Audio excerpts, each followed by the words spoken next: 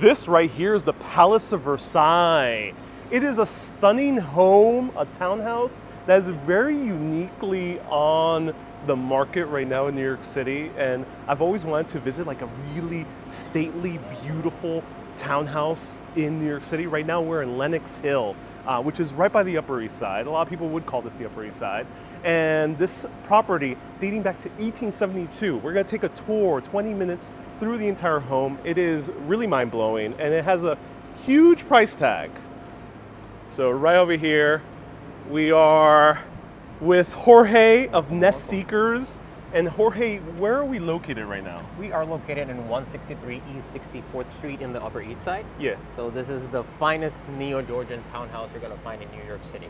Oh, that, that, and how much is the price? Well, we're at we're offering at a 15995 Ah, million. okay. So just under 16 million dollars, but it's a huge property. We're talking 8,000 square feet, 90 foot of depth. So you're going to see right now how big and magnificent this property really is. Okay, I, I'm super, super excited. So $15.9 million. If you have that, let us know in the comments.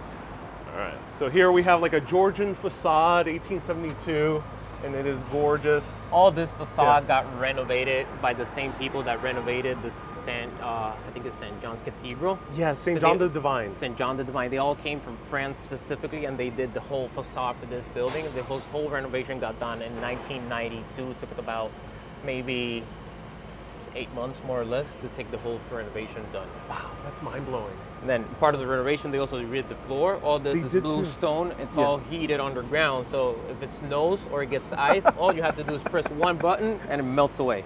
Wait, seriously? That's Yes. crazy. So no shoveling snow. No shoveling ever. Yeah, I mean, I wouldn't worry about that if I had 15.9 million, but that is mind blowing. and let me just show the street before I uh, we continue. So right here, this is a typical Lenox Hill street. We have some high rises down there.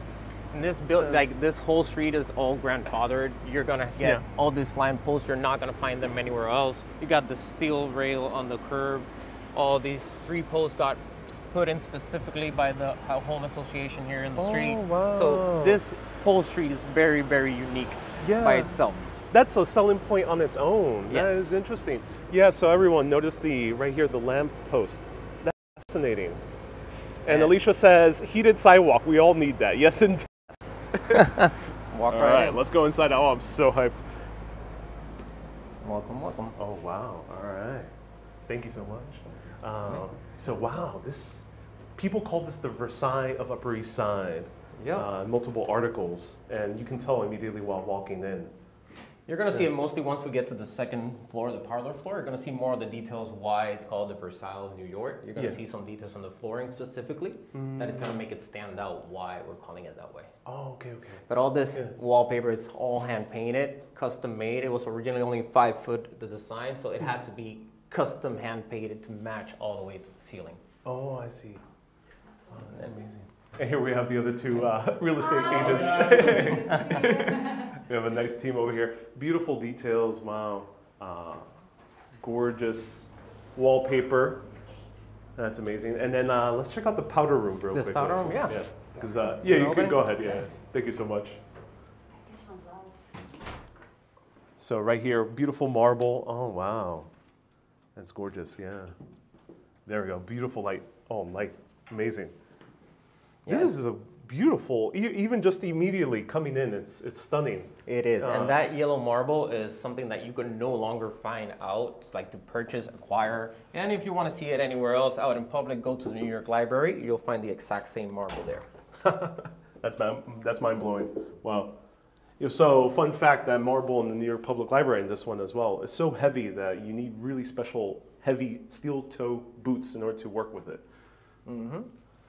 So here we are. Let's, this is just the main floor. Obviously, this is the grand staircase. We'll go through it soon. But just follow us through the kitchen here real quickly. And Alicia is saying, "Are we doing real estate?" Yeah, we are. We're touring the are. home. You know, I've been looking for a new property, so uh, Hey, if anybody's yeah. interested, Yeah. reach out. Nest seekers. exactly, yeah. So you got your own office. Obviously, you can convert it to whatever you want, but right now they have it as a gym space. And through here, you're gonna see you have a service entrance from the front. So if you're ever having like Yeah. a, an event with catering, they can just come through here, not disturb your guests, come straight to the kitchen.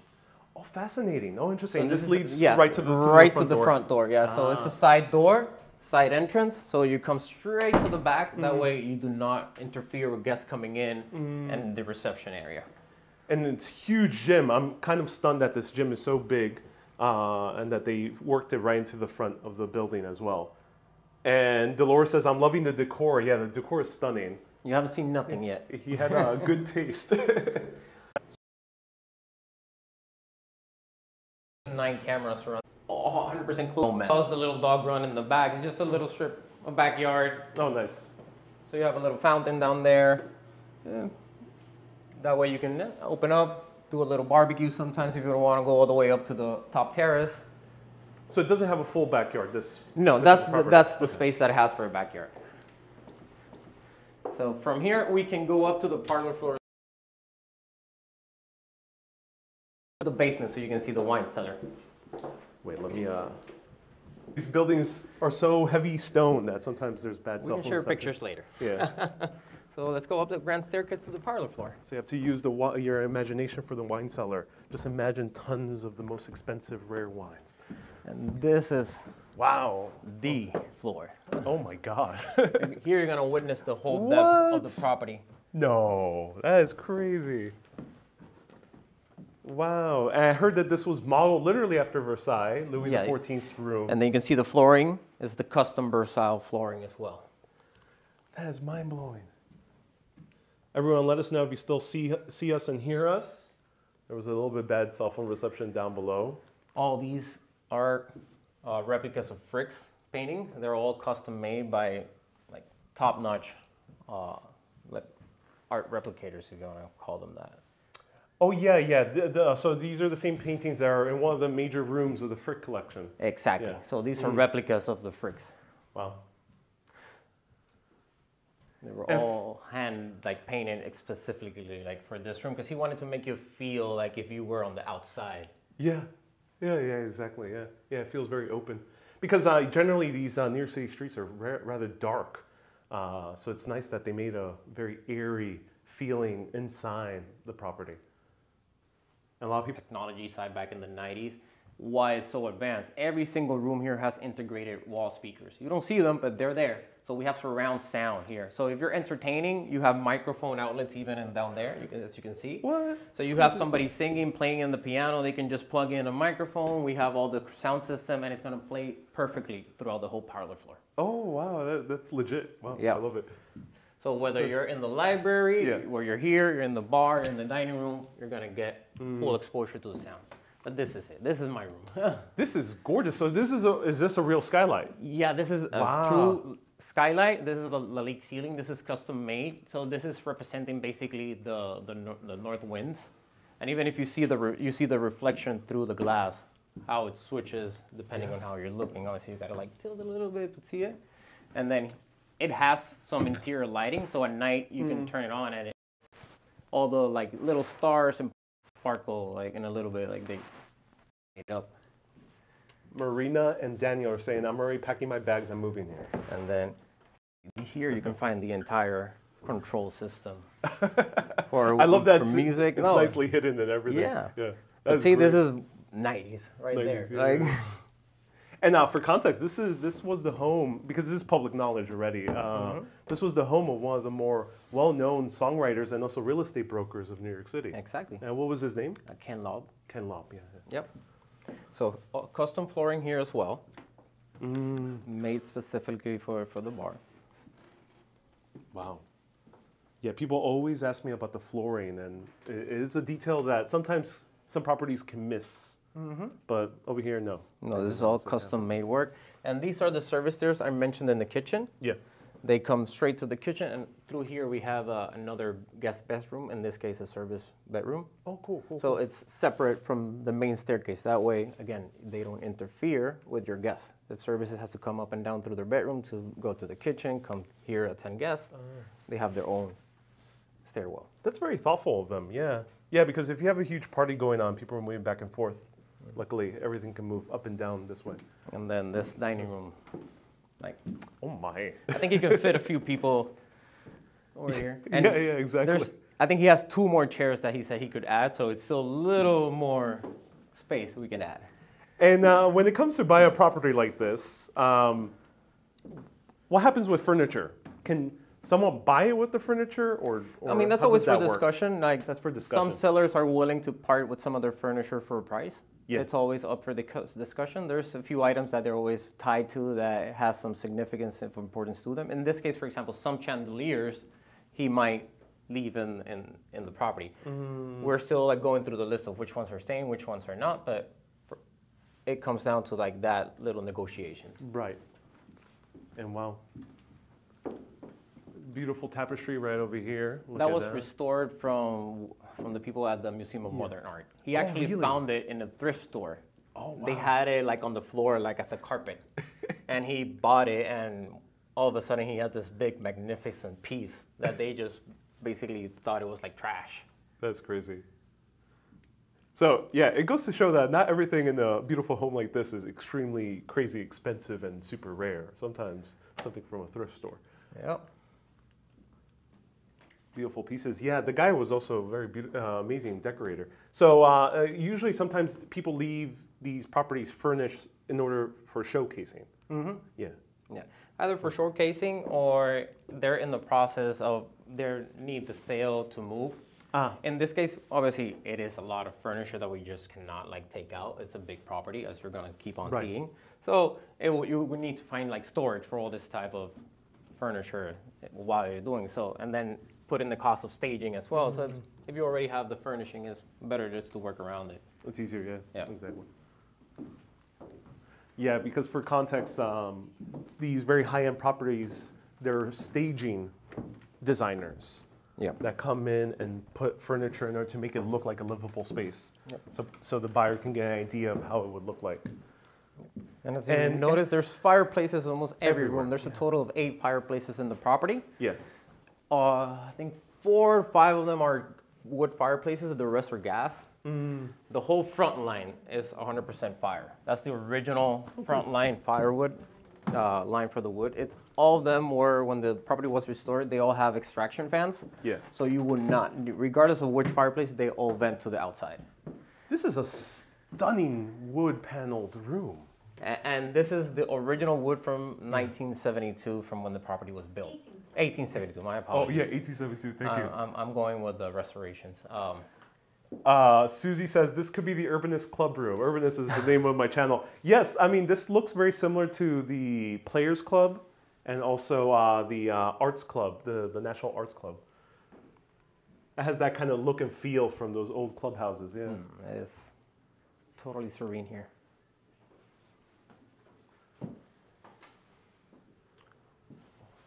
Welcome everyone. Nice to see you here. Right now we are exploring the 1872 home that is for sale, 15.9 million dollars plus here in New York City. And funny stat about this that Yeah. monkey, it was a gift from comedian Dick Shawn.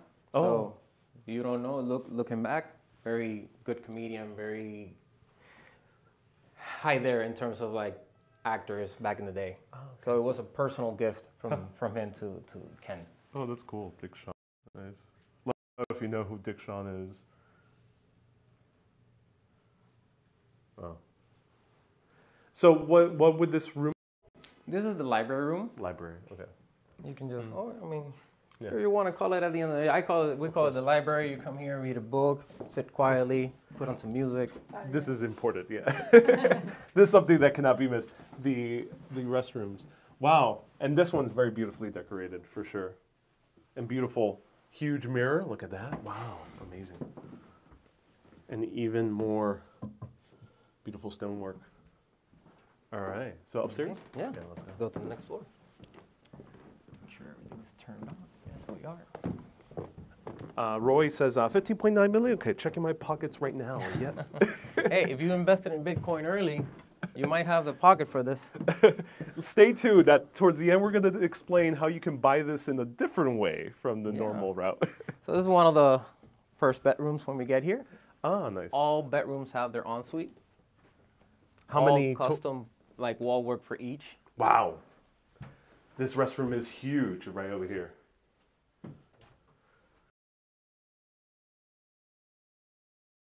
Love it. Yeah, all custom work for every single room. And once again, fireplace. A fireplace. Yeah, yeah. Another one. Yeah. And they're gonna keep popping up everywhere. Every single room has its fireplace. And then over here, you're gonna find closet. Right now they have cabinets here, but your closet space is already integrated. Oh, good. Oh, and nice. It's hidden, hidden in the wall. Yep.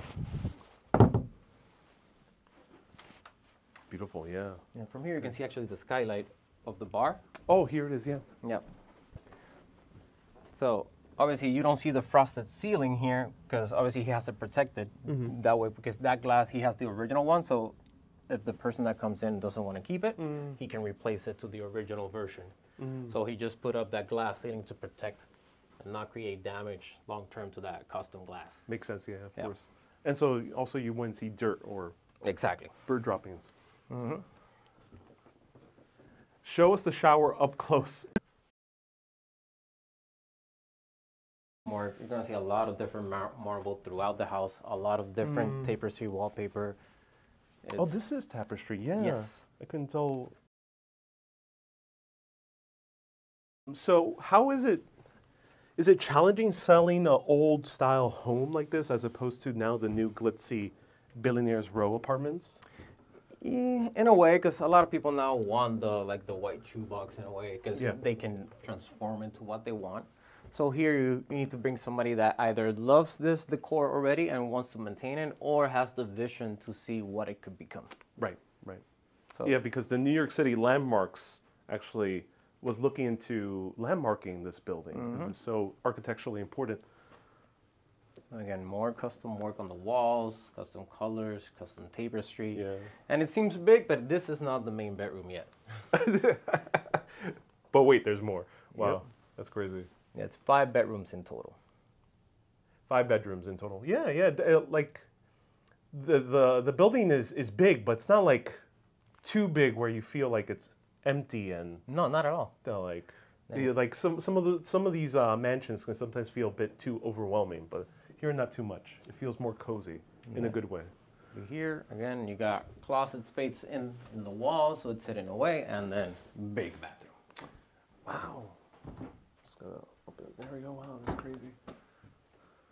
Ah, wow.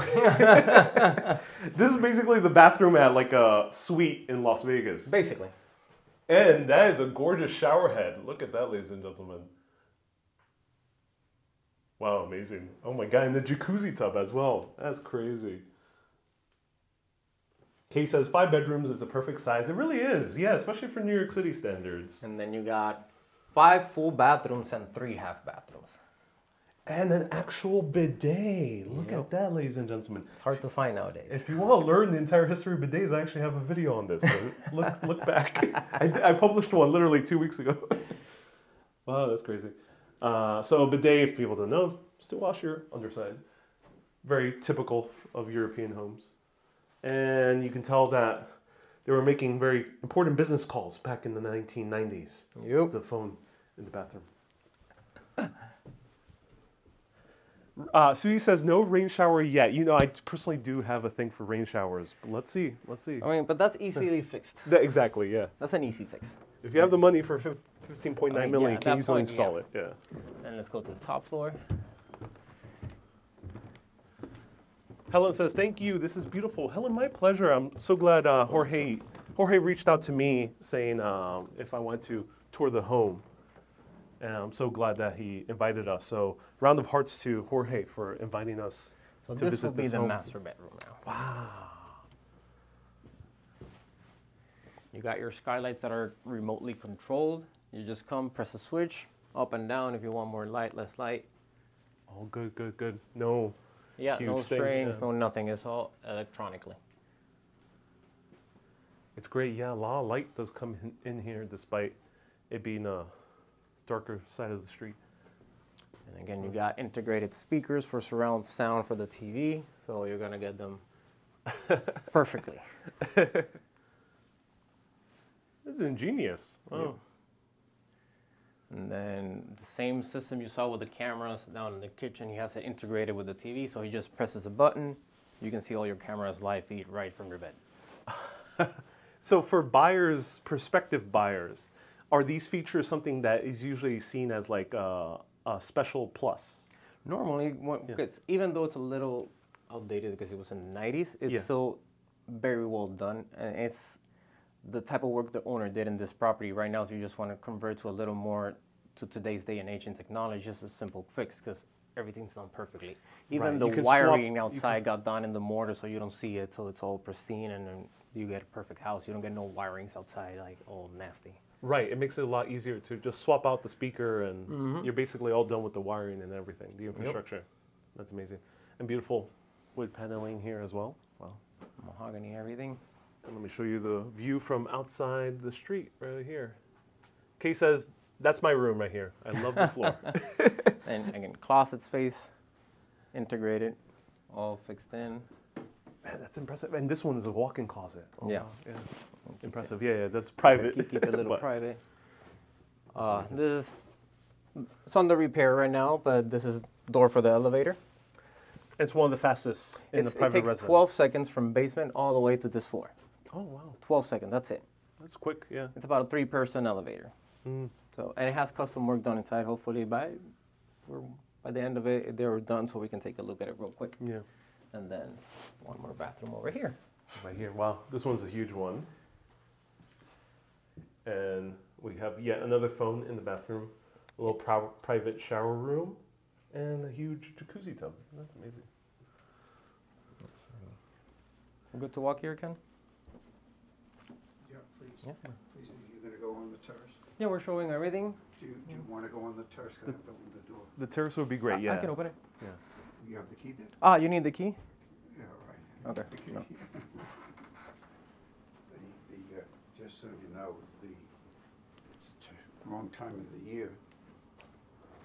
In, in, uh, another s- few, oh, the key's on there. That's right, yeah. few Days, in another few days, when I set it up, it'll look like this. Oh, wow. when, when it's fully set on spring. And this is what I do, because these planet boxes end up with hibiscus in it.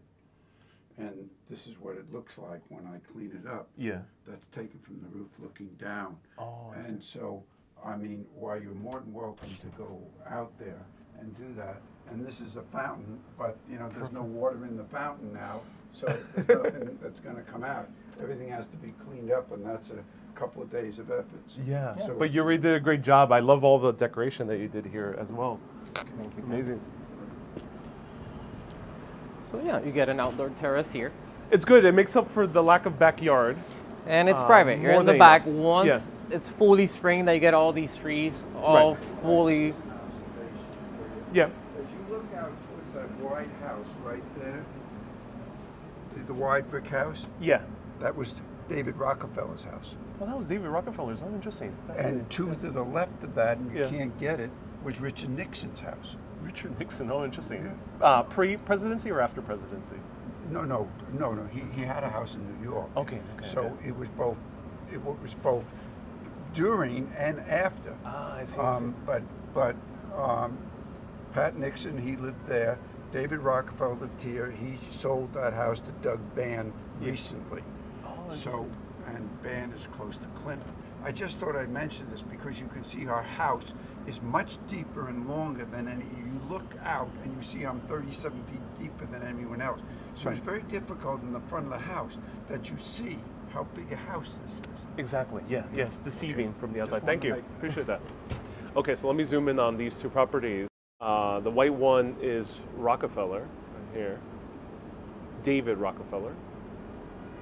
And he said two door, two down. I think the yellow one, uh, Nixon.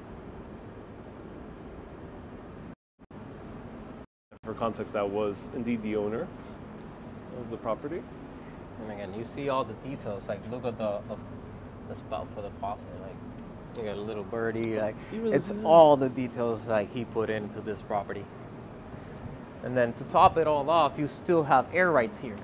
So you can build another floor. So you got two options. You can leave this uncovered and Yeah. just build to the rest of the house, maybe have 1,300 more square feet. But you can close it off, leave it as a terrace, or make it a room, But you can close it off, and then you got an additional 1,500 square feet that you can build in, build in total, plus another roof terrace. Oh, fascinating. So you still got a little bit of playroom here. That's crazy. Or you could sell the two stories to one of the billionaire row. Possibly, yeah. or any new construction that's happening around here. So yeah, we can see views of Billionaires Row right over here. You can see the uh, Steinway Tower right down there peeking through the clouds. Um, 432 Park. Purple says, can you put a helicopter pad? No, you were kind of much higher building Yes, and a very little, special a little bit permits. higher. So this is going to be our last stop for this home. Um, let me show you just a little bit more around. You can see the back area right over here.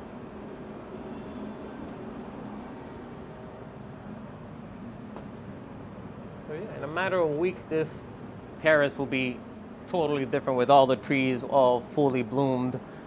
You get more privacy flowers. from the other houses. Yeah, And a little bench. Oh my God. Okay. So I usually do bench reviews. If you can hold this. absolutely. So everyone, I'm gonna do a bench test here in this beautiful property. One, one more time. What's the address?